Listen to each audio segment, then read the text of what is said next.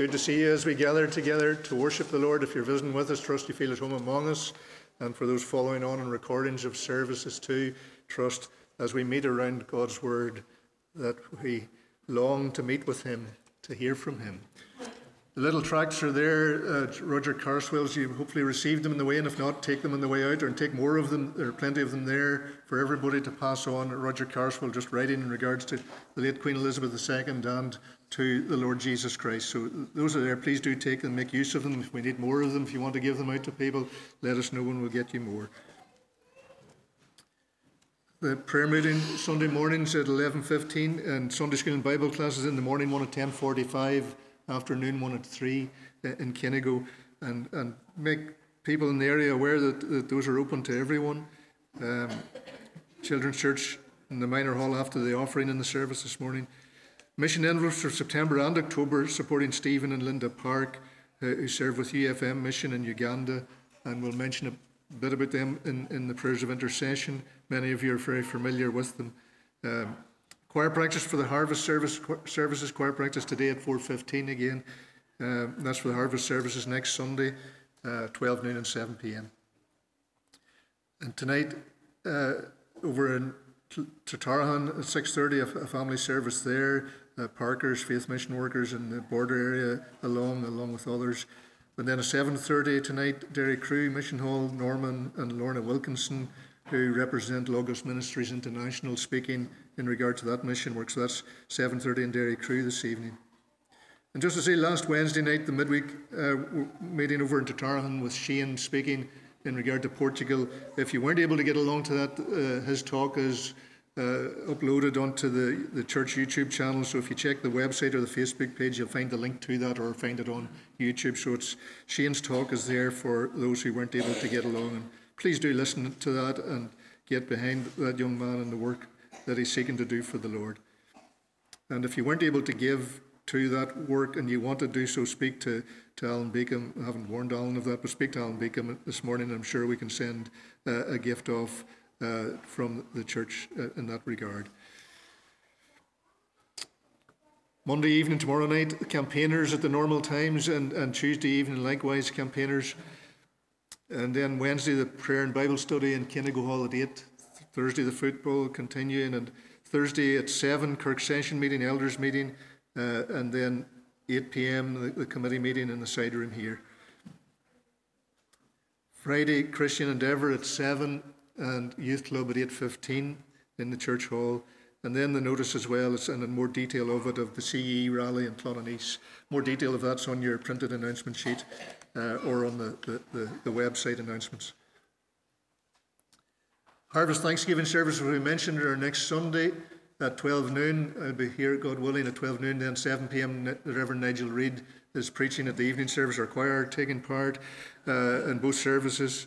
Um, Nigel's the minister, Nigel Reid's the minister in, in Tullyallen and Mountnorris congregations near Markethill. So Nigel, all being well, belong next Sunday evening preaching.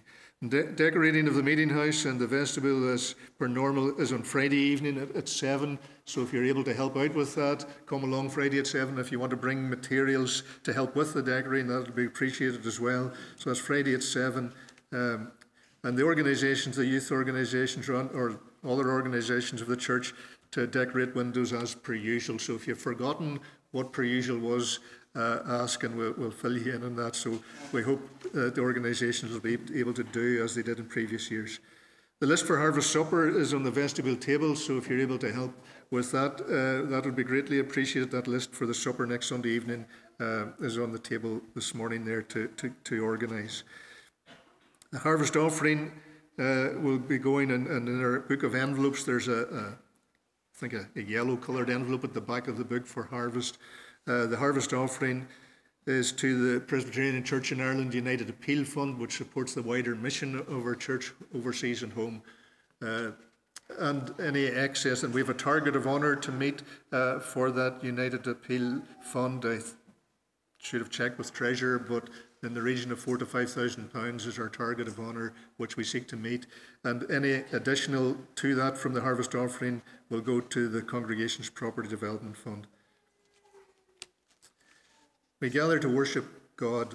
And in Psalm 100, verses 1 to 3, we find these precious words Make a joyful noise to the Lord, all the earth. Serve the Lord with gladness.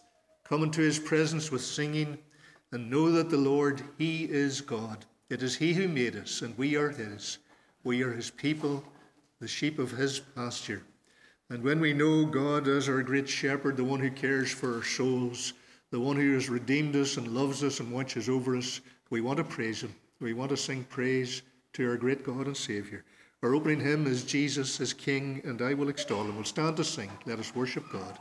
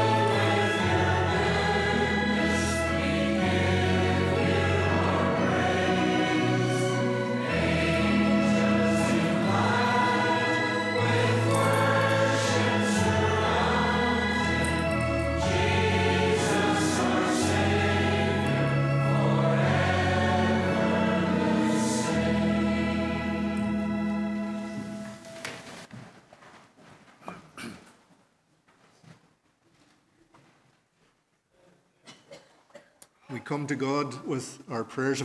Let's bow together. Let us pray. Lord God, as we seek to bring to your prayers of adoration, of thanksgiving, of supplication, Lord, we look to you and we thank you for these precious truths from your word we've been singing that we have a priest who is there interceding for us. We have our Lord Jesus Christ, our great high priest, and we need none other. And we thank you that in and through him you make all your people into a priesthood of believers. And so we thank you that we can offer up sacrifice of thanksgiving and praise to you this day in and through Jesus. We thank you for the liberty and the freedom that we have to worship and adore you. We thank you for the work of God, the Holy Spirit, in our lives, applying this great salvation, bringing it home to our hearts. We thank you for the blood of the eternal covenant, the blood of Jesus. And Lord, we pray, draw near to us in your mercy. Make your face to shine upon us. Help us, we pray. Help us to worship and adore you, to pour out our hearts to you. Dear Father, we thank you for the fellowship of your people. And as we have been reminded, even in song, we have this fellowship not only with those in the scene of time, but a, a mystical fellowship with those who are in heaven, those in glory. And so as we worship on earth, we're mindful, Lord, of people right around the globe who worship you and are part of your church, brothers and sisters in Christ on their nations around the world. And we're mindful of others, souls of the redeemed who have gone to be with you in heaven, praising you and worshiping you, and angels above who do your will, praising your name. And so, Lord, may our song of praise come out of our hearts this day with thankfulness. We thank you for King Jesus who rules and reigns in love and in power over his church and his world. And we thank you, dear Father, for such a precious King and Saviour and Lord, your Son, our Lord Jesus Christ. Father, we thank you for that great covenant of redemption, that great plan of salvation, even from before the creation of the world, your great plan to send your only begotten into this world to save us. Help us to take in the depths of your love for us this day afresh. Turn our eyes onto your redeeming love. Forgive us our sins, Lord, for our sins are many. Oh, not only the wicked things we wilfully do, as we sin against you and your word and your spirit. Father, forgive us for our hardness of heart. But forgive us, Lord, our indifference. Forgive us when we think our sins don't really matter.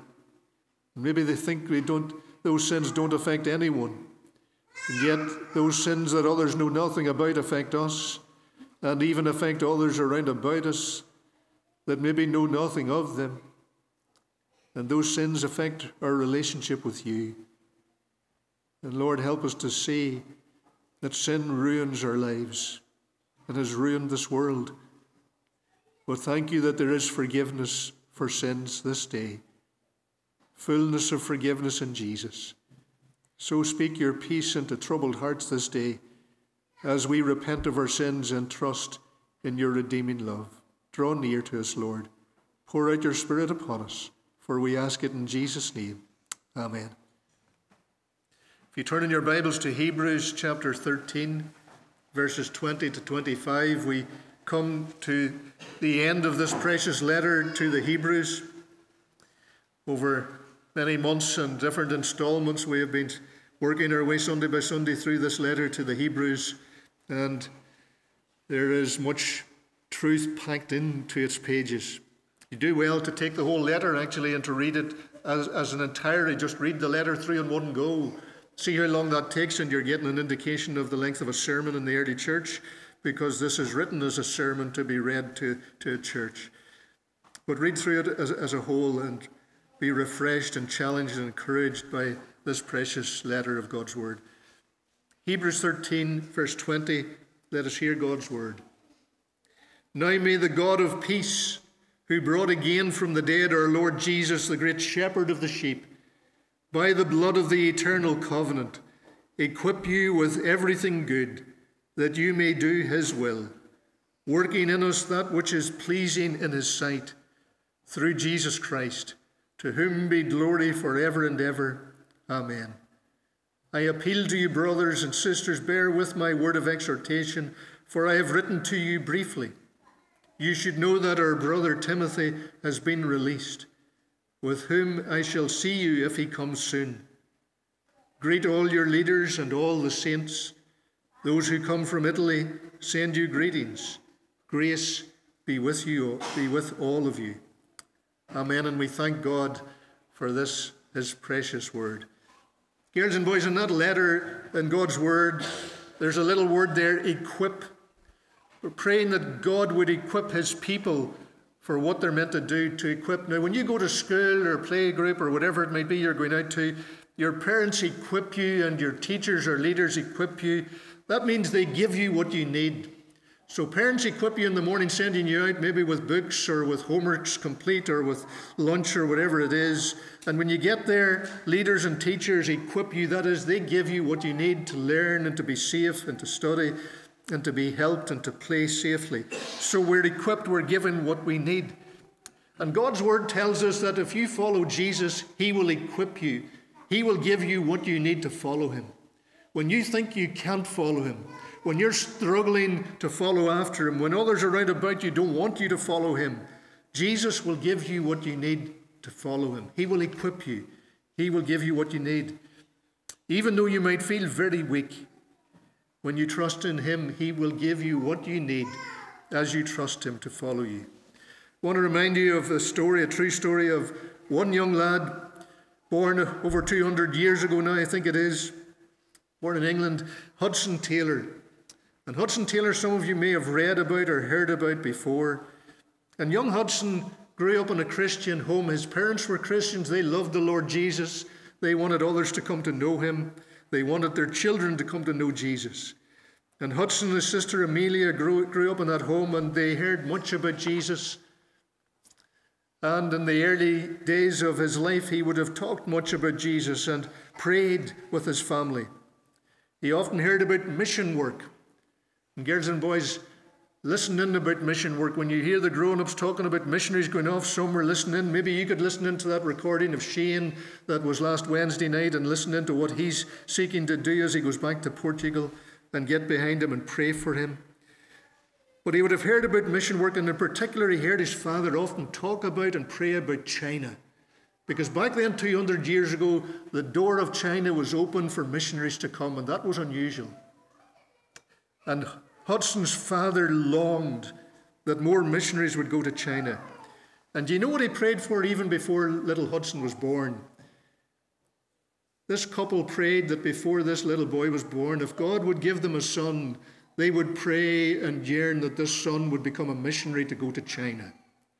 And so, at the age of five, little Hudson said one day, as his father spoke about China again and heard more about it, Hudson said, Daddy, when I'm older, I will go to China as a missionary. And his mum and dad just smiled at him.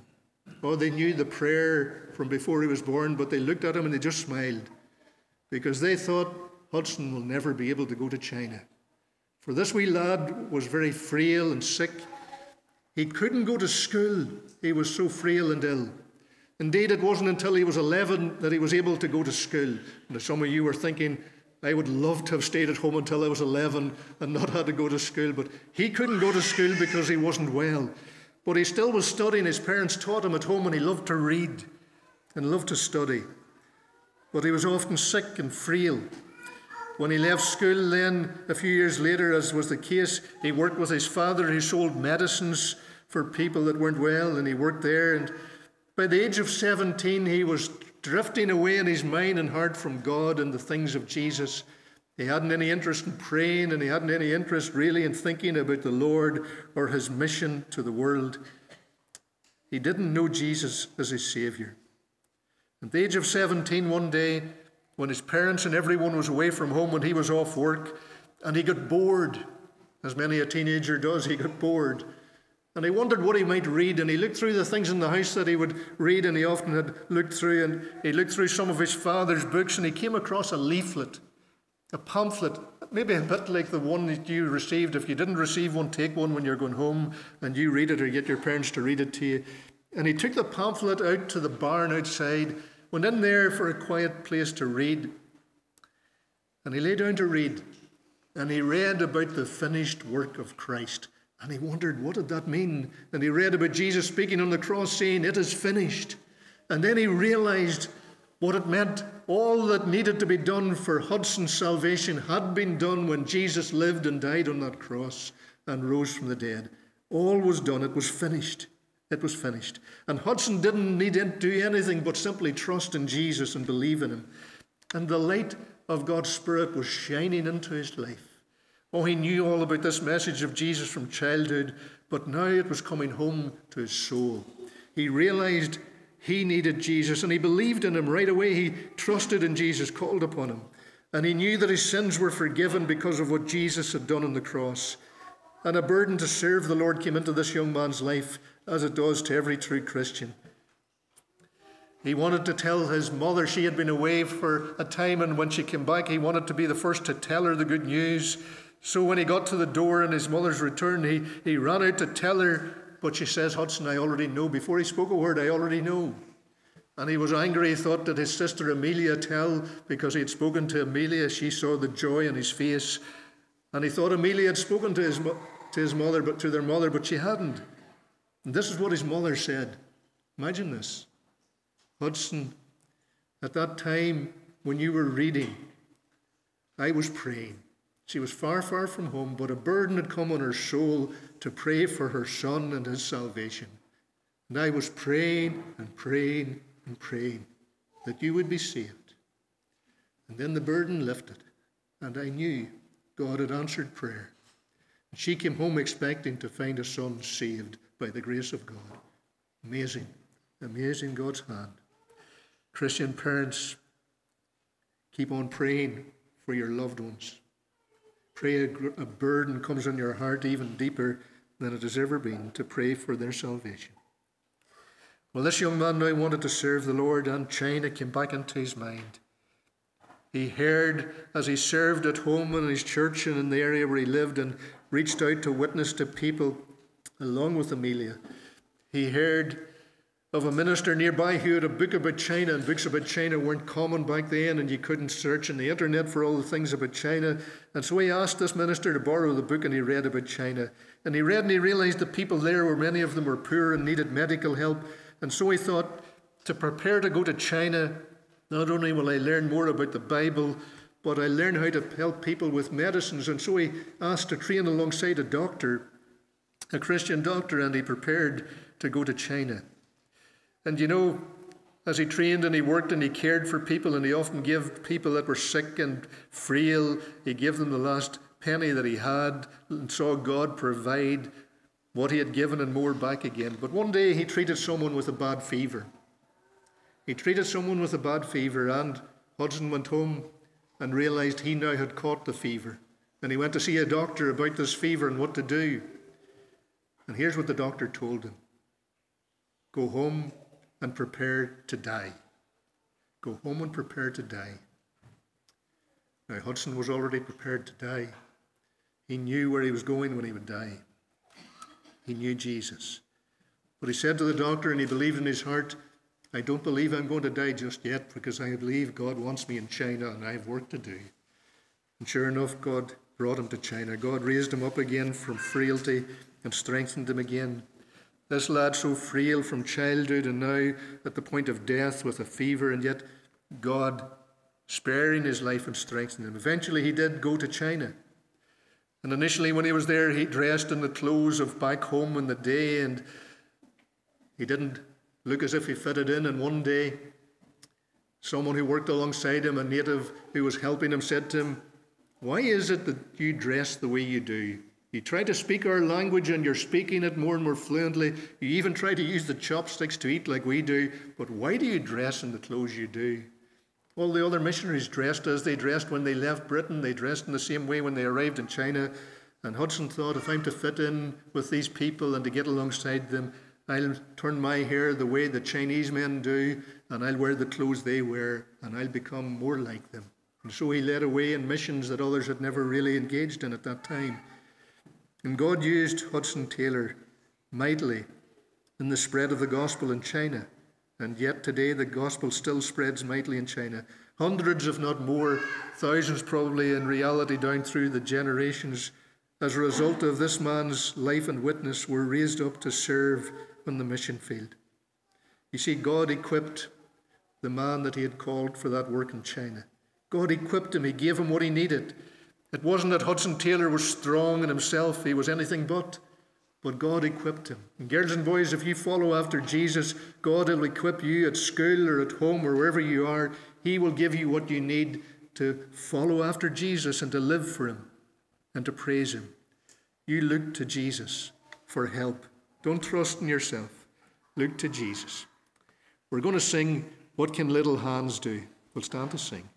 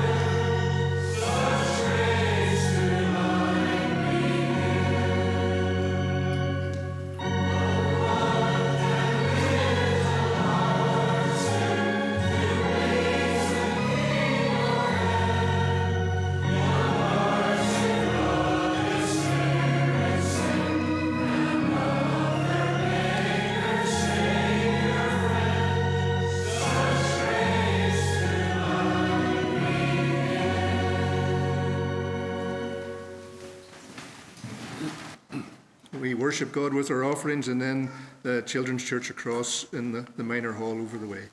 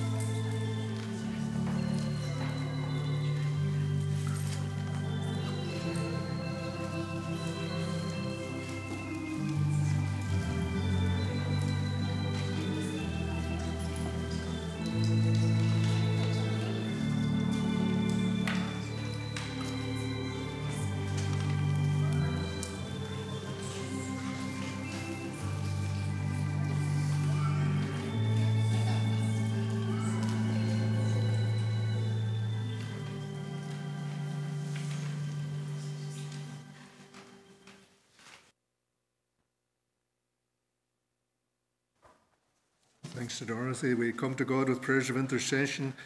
The slide is a, a few photos of some of those we remember today in our prayers that we're supporting the parks and their work in Uganda.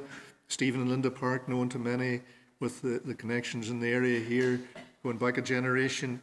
And uh, you'll have heard Stephen and Linda speaking at Derrycrew over the years.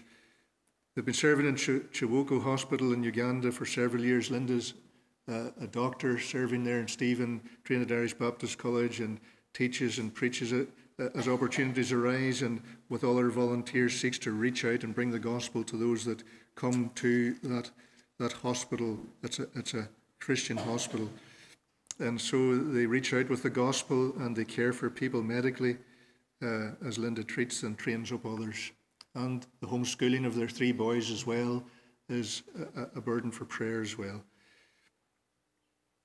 Brian Hazel Parker serve with Faith Mission in the border district based in Coot Hill and Cavan, and we remember them. They've been involved in summer camps in recent months and remember them and the work that they're doing there. And then Mark and Judith Loney serving in southern Portugal with ACRI International and are well known to us as well. We come to God in prayer. Let's pray.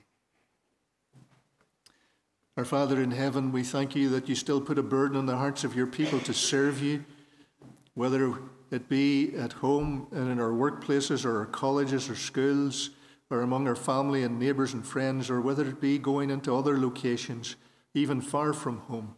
And Father, we pray you will continue to raise up your servants for the mission field, raise up those with gifts in evangelism and teaching, and raise up preachers of your word, raise up for our own denomination and for others throughout the land here where your word is opened up faithfully, raise up preachers of your word, we pray. Put that desire on hearts and lives to serve you and to be prepared and to look to you to equip them. For it is you who equips your people. And Lord, how we need you to equip us this day afresh, to strengthen us for service, and to enable us to bring glory to your name. And Father, we do pray for the Park family in Uganda that you will continue to watch over them as they settle back in after a time at home on deputation. Help them settle back Grant them strength, physical and spiritual. Keep them safe and protect them. And Father, we pray that you'll bless the witness of the gospel even through the caring of bodies and minds. We pray, Lord, for spiritual light to shine in. Help them to bring your word, your gospel, to many around about them. And continue to raise up more volunteers for that, that great work. Thank you for the many that do volunteer alongside Stephen there in the outreach of that, that hospital. And we pray that many more will rise up to serve you. And we pray for the boys in their schooling, Lord, that they will continue to be encouraged and content. And we pray for your Holy Spirit's work in their young lives to settle them in your love and to ground them in your truth and bless their witness to others around about them. We think of the Parker family too in, in the border district with Faith Mission, and we pray that you will encourage them in their labours. We pray that you'll continue to open up new doors of opportunity for them, even as restrictions from COVID Uh, ease and more and more normality comes back into daily living. We pray, Lord, for more and more opportunities for them to reach out into the local community, and may they see people gathered into the different events and meetings that they hold, and may they see souls saved to the praise of your wonderful grace. Father, we think too of Mark and Judith and the work going on in southern Portugal. Encourage them today. Help them with the burdens they carry for loved ones. Help them with the burdens of responsibility they carry for the, carry for the fellowship there. And we pray, Lord, refresh their hearts in Christ even this very moment. We pray for their girls too as they settle into life here in Northern Ireland that you will continue to provide for them and help them and lead and guide them and make your gracious face to shine upon them this day. And Father, for others who are serving you and in need of your mighty hand upon them, we name loved ones to you this day, asking for your help and encouragement. For those who have returned back from service and are seeking your guidance and your will for days to come, we ask, Lord, your hand upon them to make clear your way and your purpose and open up fresh opportunities and avenues for them. And Father, as we think of the life of our fellowship here and the various outreaches that take place week by week, we pray continue to raise up those servants with a, a concern for the glory of your name. And help us, we pray, to point people to Jesus. Help us, O Lord. And we pray that gracious work of your Holy Spirit to bring this gospel home to hearts and lives, that young people and grown ups alike will hear the good news of Jesus and believe it and call upon his name they will put their trust in him and know the joy and assurance of sins forgiven and a welcome into your family. Lord, move among us, we pray. Help us in preparation for harvest services. Lord, may your gracious hand be upon us, and may people be gathered in from the wider community in around your word, and may they receive a welcome and may they hear your great gospel. Father, we pray for your help in our daily living that we would want to live to praise you, that we would want to do your will. And we pray, Father, in this harvest season for those busy in, in the work of harvesting, Father, we pray for your help and your protection and your safekeeping. And we pray, Lord, for your provision in all things. And as you provide seed time and harvest, we pray that you too will provide the market that is needed. We pray, Lord, for your help and your mercies to abound. For, Lord, we depend upon you for the very breath of life. Be near to loved ones who are unwell today and unable to be with us. May they be encouraged in their hearts to lay their burdens at the feet of Jesus. And may their love for Jesus be inflamed within their hearts this very day. In Jesus' name we pray. Amen.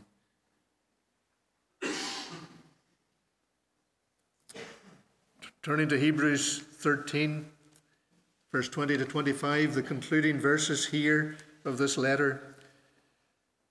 Equipped to do God's will. As we were speaking to the girls and boys about God equipping, so that is the focus of the sermon. Equipped, God giving what is needed. It's not that we are able to equip ourselves, but we need God to equip us. And so, as the, this letter, this great letter, comes to a close, it comes to a close with a benediction that turns into a, a, doxology. Now, we tend to close our services with a benediction. That word is a Latin background, means a good word, bene, meaning a good, good word. So a benediction is a good word. It's really a sermon in a nutshell. It's the gospel in a nutshell. And usually the benedictions are Trinitarian in their makeup. And this benediction, I believe, is Trinitarian, although the Holy Spirit is not spoken of explicitly. But we'll come to that. And this benediction, this good word, is spoken at the end of the letter. And then a few remarks come afterward that maybe seem strange in the, in the way they appear, but we come to that in due course. And this, the writer, who does not name himself in the actual letter, although some translations may insert the name of Paul, or may speculate, some people may speculate as to other human authors. We're not told explicitly in the actual letter who wrote this, but it's clearly coming with the power of the Spirit of God is clearly apostolic in its origin and its content. And as with the Gospels, if it wasn't apostles that were writing, it was someone shoulder to shoulder with an apostle who was writing. It comes with apostolic power. Now may the God of peace, who brought again from the dead our Lord Jesus, the great shepherd of the sheep, by the blood of the eternal covenant, equip you. And it is God who does the equipping, in other words, first of, equipped to do God's will by the God of peace and resurrection power. It's the God of peace who equips, the God of peace. The Greek word eirene, the Hebrew background is shalom. And that reality of peace, of being at peace with God, the God who brings rebels like us who were alienated from Him and at war with Him, and He brings us into peace with Himself, into fellowship with Himself, and He equips us. Because of this great peace that we have with Him and with others, He gives peace. He brings wholeness. The peace of the Bible, the peace of the gospel, the peace of God is not just the absence of conflict, and we pray for such peace around the world. We pray for it in regard to Ukraine or Myanmar or Yemen or Syria. We, we pray for the absence of conflict, but biblical peace goes further than that. It's about the wholeness of life, the fullness of life. It's about the shalom of God, the rest of God. And may the God of peace, the God who brings peace into troubled hearts, and these readers in the early church from a Hebrew background were troubled. They were being pulled backwards into Judaism. And they needed to be reminded of the God of peace, the God who gives peace to troubled souls, the God who brings us into fellowship with Himself, intimacy with Himself. And they're being reminded, even in the closing words of this letter, of the great God, the living and true God, the God of peace, the God of shalom, the God who is at work in their lives. Even though they might be fixated on their frailties and their troubles and their trials and their heartaches and even their persecutions, they are being reminded of the God of peace. And this prayer, this benediction prayer, now may the God of peace, the God of peace, may He be at work in your life. How we need the God of peace, the living God at work in our lives to bring His peace to bear in our hearts afresh this day. Is your heart full of trouble and anxiety? and wondering what might happen and what might not happen and what the future holds, or wondering about the, the past, recent, or even further back and as to what you've done, and maybe it comes to the light and is brought out into the open, and anxieties rise up for all sorts of reasons. Maybe your anxiety rises up because of a, a concern for loved ones. Now may the God of peace, may He do His work in your life this day. Pray that for others. Pray it even now for others around about you that the God of peace would be at work in our lives. The God of peace. And he's not only the God of peace, but he's also the God who brought again from, from the dead our Lord Jesus, the great shepherd of the sheep. So, so he's the God of resurrection power, the God of peace and power. So he has the power to raise Jesus from the dead, victorious over Satan and hell and sin and death. And if he has that power, he has power to help you, is the implication. He is the God with resurrection power to help you today in whatever might be your trouble and your trial. And so, the prayer at the close of this letter, this benediction, this gospel in a nutshell, is that God would be at work in lives. That's what we're saying as we pronounce benedictions. We're pronouncing them upon our congregation at the close of the service. We're really speaking the gospel in a nutshell to people's hearts, yearning for His good work in our lives, yearning for it. And so we are equipped to do God's will by the God of peace and resurrection power. And how we need him. How we need him. And secondly, this equipping comes about by God through the work of God's Son. It's by the blood of the eternal covenant. Our Lord Jesus is the great shepherd of the sheep who was raised from the dead. And it speaks here of the blood of the eternal covenant. When we think of that statement, ponder it for a while. So, this equipping and every blessing comes by God through Christ and his finished work. That language that Hudson Taylor we spoke of earlier, being gripped by the finished work of Christ, the blood of the covenant that has been shed once for all, the blood of Jesus. It's an eternal covenant. Notice that. As we look back into eternity past, so to speak, This covenant written before creation came about, before people were created, this eternal covenant, the Father, the Son entered into an agreement, and the Father would send the Son, and the Son willing and glad to come and take human nature and to live and to die to redeem a people for himself to the praise of the grace of God. This eternal covenant, oh, rooted in eternity past and it stretches on for eternity future, forever and ever. This eternal covenant will never diminish in its power and its glory. And so, Christian, as you think of the blood of the eternal covenant, Jesus' blood will always avail for you. Jesus will always be your great high priest who intercedes for you, your mediator. Jesus will always be your all in all. The blood of the eternal covenant. There'll not be a point in eternity future when you're not rejoicing in Jesus and the shed blood of our Lord Jesus Christ for the forgiveness of your sins and the shalom, the peace of God within your life. And so the equipping that comes about by God's great power comes through the finished work of Jesus Christ. We'll never be equipped to serve unless we're trusting in that finished work, unless we're resting in the finished work of Christ, believing in Him We'll never be equipped for service otherwise. It's coming, flowing from God the Father through God the Son. And then, thirdly, it comes in the power of the Holy Spirit. And while the Holy Spirit, God the Holy Spirit, is not mentioned explicitly in these couple of verses, it is implicit. You see, the blood of the eternal covenant comes home to hearts, verse 21, as we're equipped with everything good that we may do God's will. And who is it that brings this home to hearts that we're equipped? It is God the Holy Spirit who brings it home. It is God the Holy Spirit who equips and empowers. And so this benediction is Trinitarian, like many others through Scripture. It's God at work. It's God at work in lives, God working in us. As the eyes of hearts and minds are turned to Jesus and what he has done for us and what he continues to do for us as he intercedes for us, and he will come in glory for us. And so hearts are strengthened in the gospel. Hearts are strengthened in Christ. Hearts are equipped. Hearts are equipped. Now, sometimes you might hear sermons about giving maybe a sweet title, and the danger of giving titles to anything at times can take you in the wrong direction. But given a sweet title like here are five or here are ten points that will make you a super strong Christian with a victorious Christian life. And you come along and you hear the message, and it's just like, these quick fix things that if you put into place, then all will be well. And, and when you really think about the message, when you really think about it, it's self help theology. It's telling you what you can do to fix it all. And I hope you never hear that sort of thing, and I hope you don't be gripped by that sort of thing.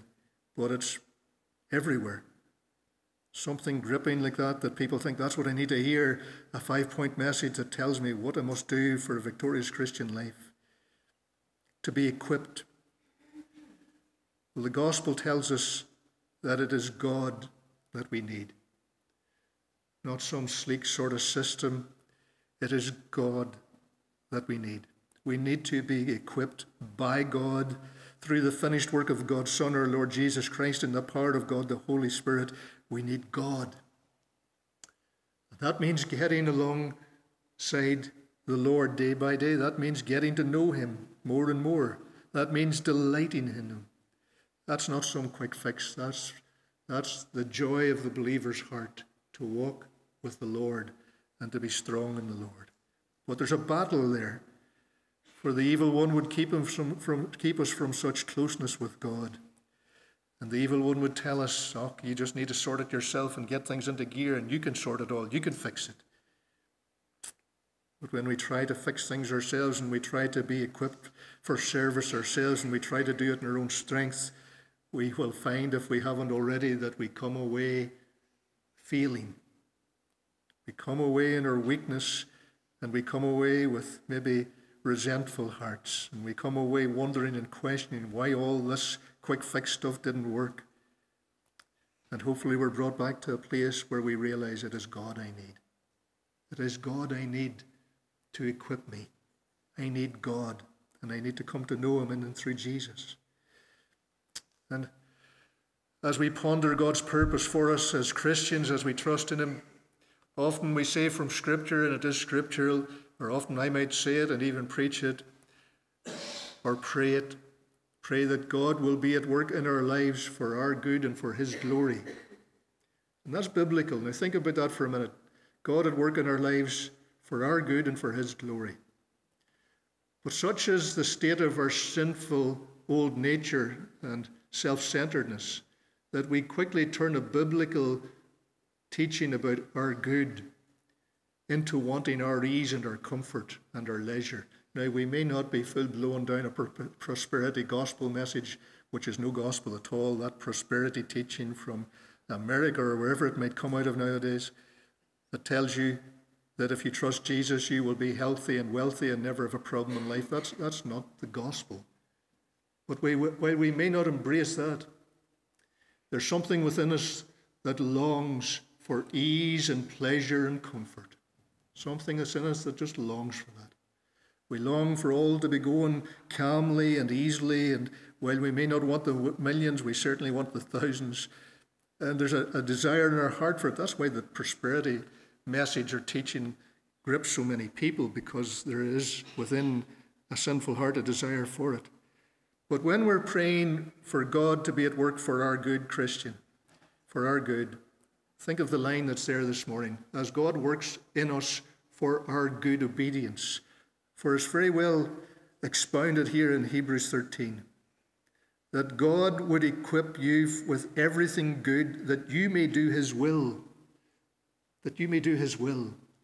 So when God's at work for our good, it is so that we may do his will, that we might be obedient, not so that we will live at ease and never have a struggle or a battle or a heartache or a pain, but rather that we would seek to do his will. He gives us what we need to do his will, his good and perfect and pleasing will. That we would do what is pleasing in his sight, in other words. That's what God is seeking to do as he works in our lives, if only we will desire that rather than kick against it.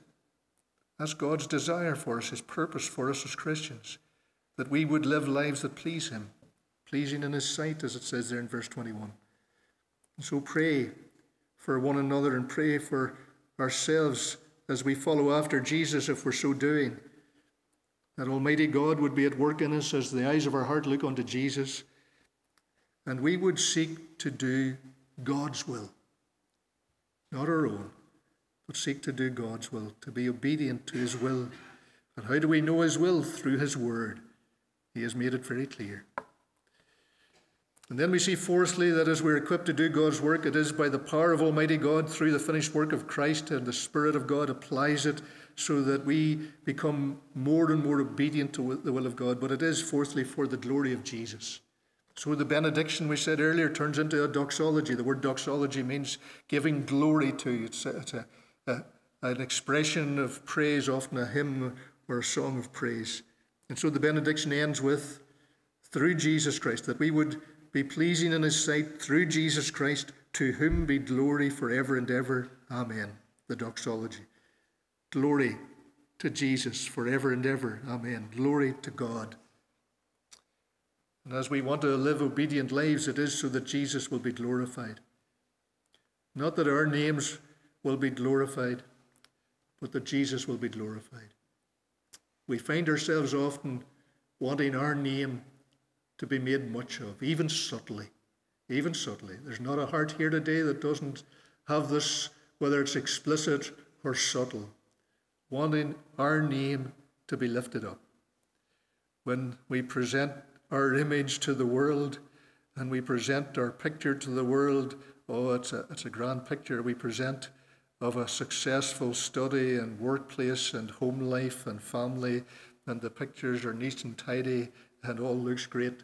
But we all know that the reality is very different and our lives are a mess. All of them. They're messy. And it's the glory of the name of Jesus we want to lift high. We're not meant to be pretending that we've got it all sorted and we're all perfect and we haven't a problem in the world. We want people to know that we have a Savior. We are people with problems and with heartaches, and we're broken, and we have all sorts of sins battling against us, and we need the strength of Almighty God to resist and to yield not to temptation. And we stand only in God's strength, not our own, for the glory of Jesus. We want people to know it's Jesus. Jesus who keeps a hold of us. It's Jesus who comforts us. It's Jesus who leads us on with himself. It's Jesus who gives us hope in the darkest of days when there seems to be no hope for the glory of Jesus. So we want to obey him, to do his will by his strength as he works in us. Oh, pray that God would be so at work in our lives that we would want to do his will to the praise of his name. Fifthly, that's the last point for the glory of Jesus and to the praise of his grace, to the praise of his grace. Does it strike you as a little bit odd? Now, we've all written letters, and our order of writing it all can be a bit, especially when you wrote with pen and ink long ago, and it wasn't something you could erase, or it wasn't something you could cut and paste and restructure. But remember, this letter is written by the Spirit of God. Whoever the human author is, it is clearly inspired by the Spirit of God. It comes with that authority ringing out of it. It is apostolic authority. But it strikes you as strange that Hebrews should end with a beautiful benediction and doxology in verses 20 and 21. And then, verse 22 to 25, he starts saying this I appeal to you, brothers and sisters, bear with my word of exhortation, for I have written to you briefly. And so he opens up this great appeal. Listen to this word of exhortation, this sermon, this written sermon, that if it was to be read publicly, audibly, would have taken well over an hour. You read it out loud and see how long it would have taken. This is a brief sermon, he's saying. I appeal to you. Bear with my word of exhortation. Listen to me now.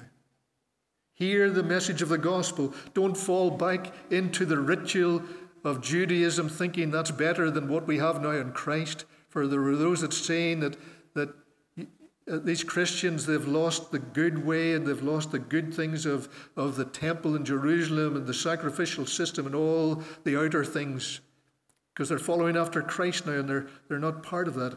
And the writer is saying, time after time in the letter, you have not gone backwards by following Jesus. You have entered into the fullness of what the old promised.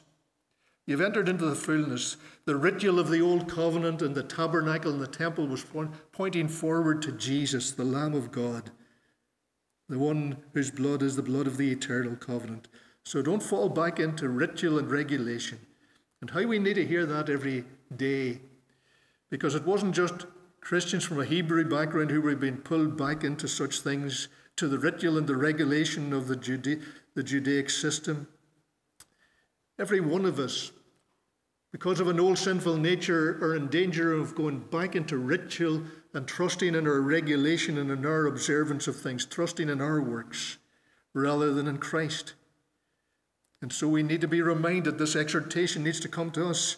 I appeal to you, bear with my word of exhortation. Realize that Jesus is far superior to the old covenant and to the old mediator Moses, that Jesus is far superior to angelic deliverers. Jesus is far superior to all that has come before. He is the fullness of it all. And in him you find your life. And he says, You should know that our brother Timothy. Now, why does he mention Timothy? You know, our, our brother Timothy has been released, released from prison with whom I shall see if he comes soon. So this writer is going to come soon, and if Timothy comes as well, he'll be with him. He's expecting to see these believers. And he's talking about other leaders, and all the saints. Saints are believers, other Christians. We're made saints, we're made holy by God by trusting in, in the Son of God. And those who come from Italy send greetings. And some would, would read into that, or maybe read out of that, whatever the case, they think these Hebrew Christians, it seems, maybe were living in Italy, living in Rome, and wherever the writer of the letter was writing back to them, some had come from Italy. And they're sending greetings. They knew these believers. Whether that's the background isn't of that much importance to us, but it may be. Maybe that these Hebrew believers were living in Rome or living in Italy at the time of writing. But why is Timothy picked out as, as an example, a reminder, along with others? That's a reminder to these Hebrew Christians, these early Christians, in danger of falling back into Judaism and turning away from Christ and even renouncing Jesus as Messiah. Here, we're part of something even bigger than Judaism. When God saved Abraham and his family, it was so that they would be a light to the Gentiles. And now that is being fulfilled, the writer saying. We're part of, of a family now. We're brothers and sisters. I appeal to you, brothers and sisters. We're in Christ now, and this family is made up of people from different nations. Greet them, welcome them. Think of Timothy. Who was Timothy? Well, he was a child of a mixed marriage, Jew and Gentile, his parents. Here is Timothy, and this gospel is for all. And here is Timothy, frail in and of himself, humanly speaking, would be unlikely to stand against the hardships and the persecutions and the trials and the troubles. But here's frail Timothy, remember him. Hopefully, he'll come to see you soon and preach the word to you, but remember him and his example of what God did, did and was doing in and through him. This man, so frail of constitution, told to drink a little wine for his stomach's sake. This man, timid of nature, and yet God had equipped him and strengthened him, and he was following after Jesus, even through prison and being released, he was still following after Jesus. So take heart. Take heart if God can equip Timothy to live in obedience and to bring glory to the name of Jesus. God can equip you or me. God is the God of peace and the God of resurrection power. And this blood of the eternal covenant is mighty. And the work of God, the Holy Spirit applying it to lives, is blessed. So keep on trusting. Keep on trusting. Maybe today, Christian, you have lost heart in your following after Jesus. You feel the weight of disappointment or the weight of expectation that you struggle to live up to. You feel all sorts of burdens in your mind and your heart and your soul. You've maybe been serving in some sort of ministry for years and you see little fruit or little impact through it all. Well, keep on looking to Almighty God to equip you, to follow after Him, to follow after Jesus with all your heart. It is God you need. It is to draw near to God eyes by faith looking to the Lamb that was slain, the shed blood of Jesus, crying out for the work of God, the Holy Spirit, to apply this salvation day by day to our lives, to equip us with everything good that we may do His will, working in us that which is pleasing in His sight, through Jesus Christ, to whom be glory forever and ever. Amen. And what's the final benediction at verse 25? Grace be with all of you, grace. That's all of God's grace. It's all to the praise of the glory of the grace of God in Jesus Christ, He is the language of Ephesians 1. To the praise of the glory of the grace of God in Jesus. Grace be with you. Amen. We're going to sing in closing the old hymn, Praise to the Lord the Almighty, the King of creation, the one who is our strength, who equips us.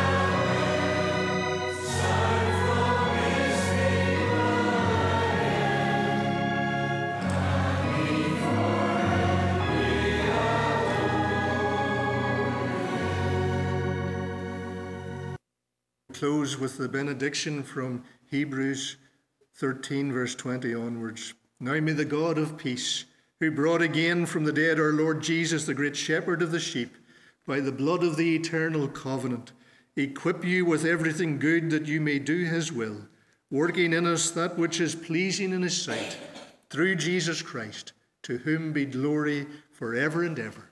Amen.